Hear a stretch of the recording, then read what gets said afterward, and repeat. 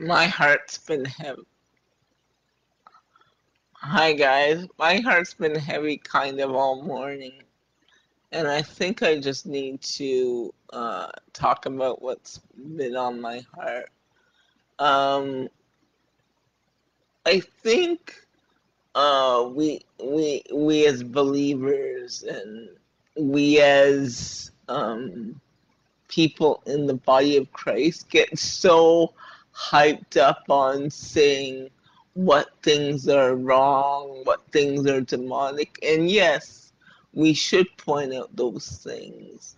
Yes, we should make people aware if we know something is of Satan. We need to say it. But I think um as well we need to counteract that with the wonderful light of Jesus. And we need to be aware that behind everything that we say is demonic, uh, uh, behind everything that is demonic and that that is um, that is in scripture as demonic, it's there are people in that in that like lifestyle. And there are people in that um, kind of practice.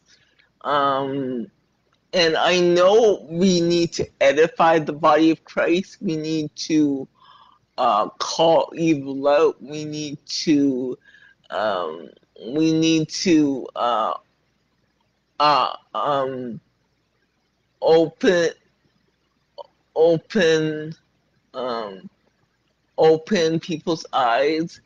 But I think when doing that, we need to do it with the with the spirit of love behind it.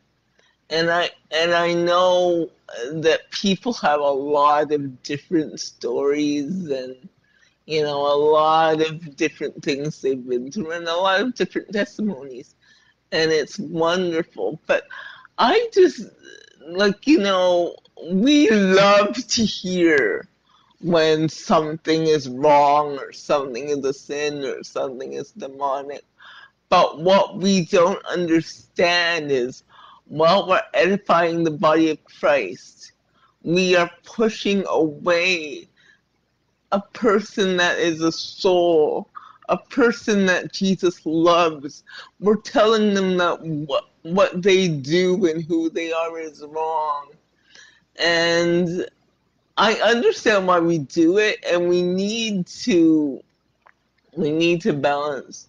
Uh, we need to call out the darkness, but while we're calling out the darkness, we need to bring light to it and understand that all of those people in that kind of lifestyle, they are still people that people love. Homosexuals are people that Jesus loves. Mediums are people that Jesus loves. Uh, witches and Wiccans, Wiccans are people that Jesus loves. And instead of t- talking about the the demonic part of it so much, um, I think we need to temper, not forget about that. We need to call the darkness out, but we need to also call call the um, call the love out of them, call the peace out of them, call the destiny out of them. Because I've heard a lot of people, there's a big medium right now. Um, if I said the name, um, most of you would know who this person was.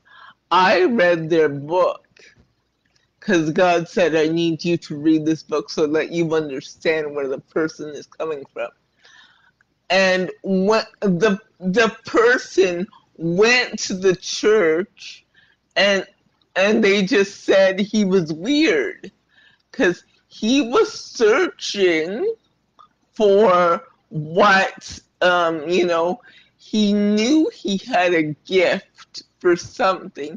So he was searching for this. So he picked up all kinds of books. So he went to the church and the church just laughed at him said he was weird and like demonic. So he left the service. And then he got more involved as a medium. So so often they come to us first, we reject them, and uh, you know, and then we call what they do demonic, or you know, you know. I think we just need to understand that behind every person is a is is a soul that God loves. And I'm not saying we we don't need to call out the devil, but be, but along with calling out the devil, we need to call out the God in that person because the only thing to counter darkness is his marvelous light. And I think we spend too much time uh, as Christians call, calling out the darkness, saying this is demonic, that is demonic, don't do that because that is demonic. We need to call out the light in the person because the light will automatically cancel out the darkness because light and darkness cannot abide together. And when you call out the light in the person, the darkness, when you call out the light in a person or, you know, a thing, the the darkness cannot stand. So I think we need to stop just doing this whole darkness thing and I think Christians need to be aware of darkness, but we need to start calling out the light of God on people. And we need to be aware that everything we're calling darkness, there are people behind that. And sometimes, even some things that we're calling that are demonic, um, they were useful to people. So be aware of that as well. And I'm not saying that we we don't need to say when things are dark or demonic. I think we we just need to be aware that there are people and they need Jesus too. Um, homosexuals need Jesus, mediums need Jesus. Everything that we're calling dark, they need the light of Jesus too. The same cross that saved us can save them. The same people that we're that are involved in all these things need Christ as well. They, because the the love of Jesus, they all need Jesus, and I keep thinking about that book that that I read because um, the Lord said, "Read it," and I said, "What?" He said, "Read it because I need you to understand the person behind the practice." and I keep thinking if somebody, um, if he, if that service that he went to would have welcomed him and said, you know what, that that gift is prophetic. Let me teach you about the prophets of old. Let me teach you how to direct that gift to the proper source. Because all all I believe um, that these uh, people people are, because I asked the Lord about it. He said it's the right gift but wrong source. He said what these what these people need is to be directed to the right source so their gift can be used for the kingdom.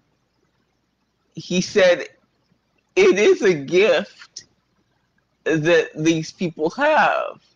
But what they need is it to be plugged into the right source so they can be using their gift for me. It's a and not for the devil.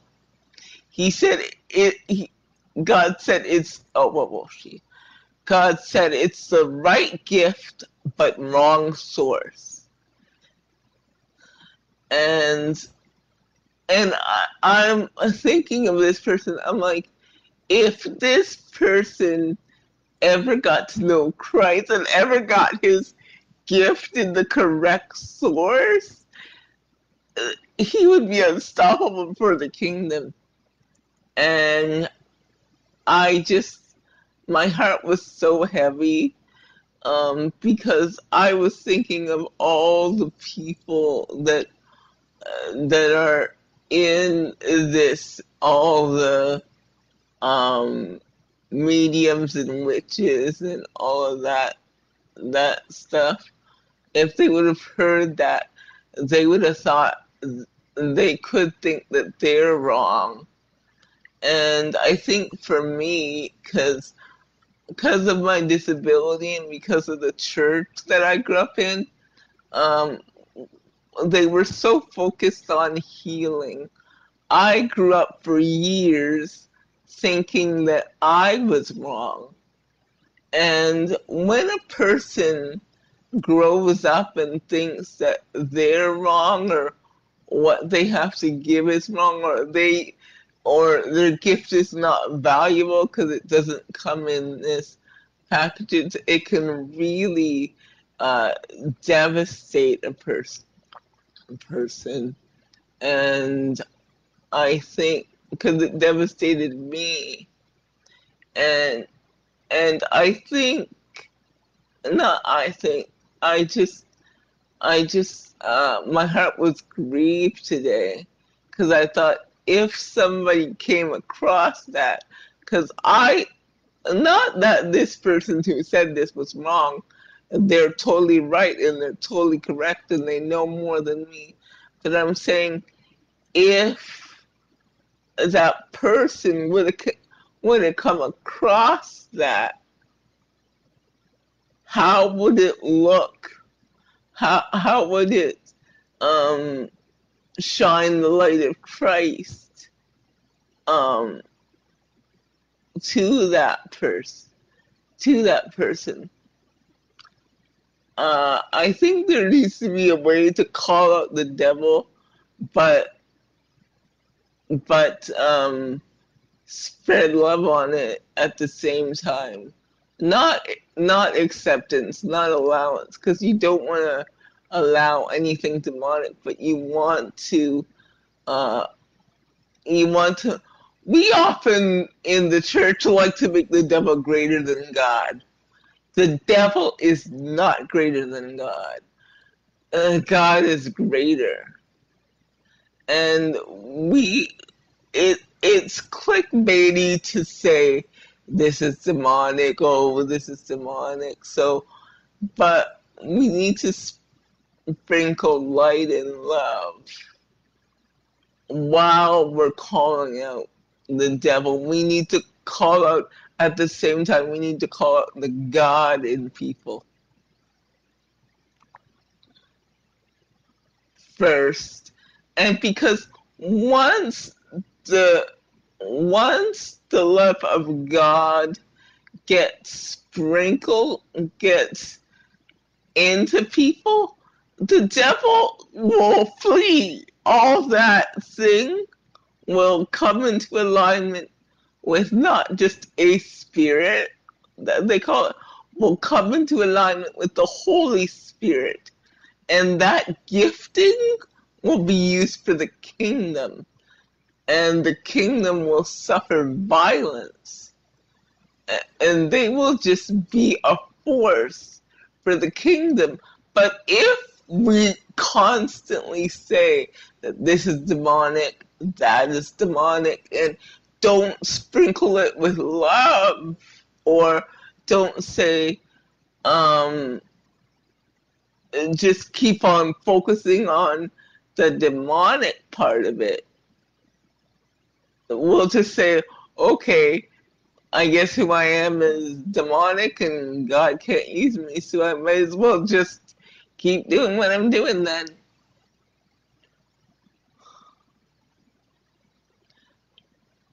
I I just really think God is calling for an infiltration of light, not so much a focus on darkness, not so much a focus on what the devil's doing, but an infiltration of the light and love of God.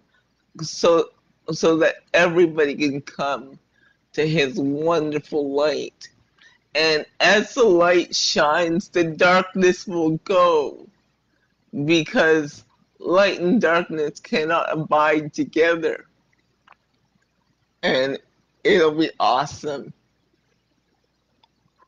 I can just picture the person I'm picturing um, just getting into the kingdom and uh, plugging uh, this gift into the right source and what a blessing it will be to the body. These two pe- people and other people that I've seen and know. Like, it's just going to be awesome. It's just a misdirected source. And Lord God, I pray for this person right now. I call them in your marvelous, to your marvelous light. In your, I call them to salvation right now.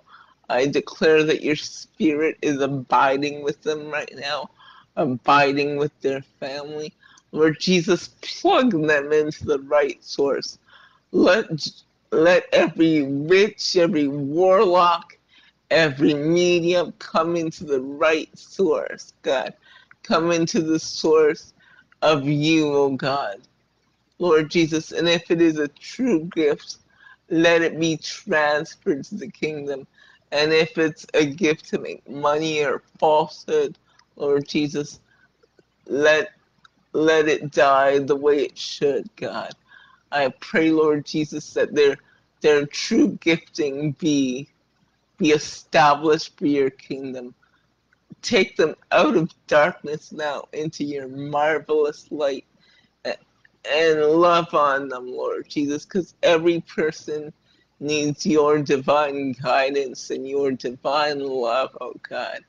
In the name of Jesus, send help, send brethren, send people to just love on them, to to guide, to walk with them on this journey of your marvelous truth, because you have gifted them. That gift comes from you. It needs to be it just needs to be plugged into the right source. And I believe that the, these people will be will be soldiers, will be warriors for your kingdom. I believe that you are raising up former mediums, former psychics, former LGBT people, all those people that we think are in demonic lifestyle. I believe that you're raising them up and plugging them into the right source. In the name of Jesus. Amen. And let us focus on your light and your love. In the name of Jesus. Amen. Thank you guys so much. I really appreciate it. Bye.